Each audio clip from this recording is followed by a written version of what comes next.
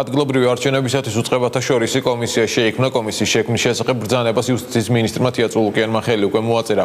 კომისიას თავად მინისტრი უხელმძღვანელებს, ხოლო მის შემადგენლობაში სხვადასხვა სამინისტროს წარმომადგენლები შედიან.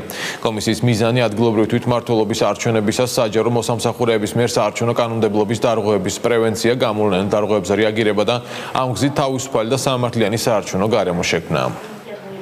Thank you.